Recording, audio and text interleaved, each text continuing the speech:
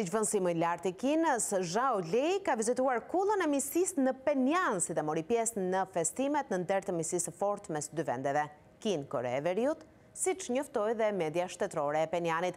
Zhao shprehu vullnetin e mirë për të forcuar edhe më shumë politikat e strategjisë të përbashkëta në mbrojtje dhe orientimin siç Kim Jong-un e bëri të qartë e kishin drejt prodhimit të armëve e municioneve për vetëmbrojtje, siç thanë.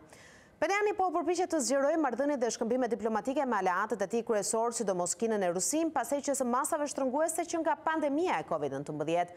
Vizita e zyrtarit të Kinës erdhi një ditë pasi Koreja e Jugut dhe Amerika nisën një stërvitje të përbashkët ushtarake. Pjesë e saj ishte edhe Japonia.